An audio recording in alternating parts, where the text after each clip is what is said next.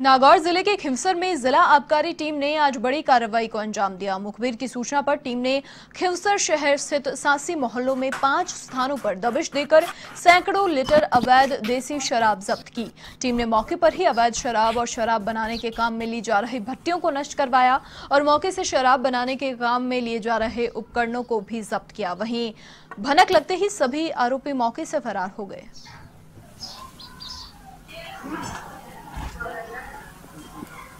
别的啊